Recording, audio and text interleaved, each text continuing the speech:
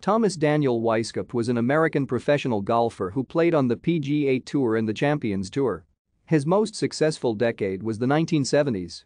He won 16 PGA Tour titles between 1968 and 1982, including the 1973 Open Championship. After winding down his career playing golf, Weiskopf became a noted golf course architect. Weiskopf was born in Massillon, Ohio. He attended Benedictine High School in Cleveland and Ohio State University, where he played on the golf team.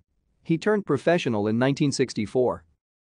Weiskopf's first win on the PGA Tour came at the Andy Williams San Diego Open Invitational in 1968, and 15 more followed by 1982.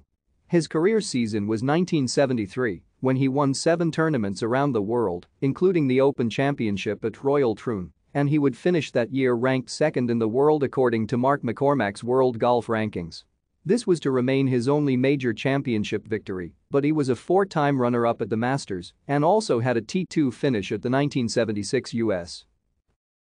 Thank you for watching. Like and subscribe if you would like to view more of our videos. Have a nice day.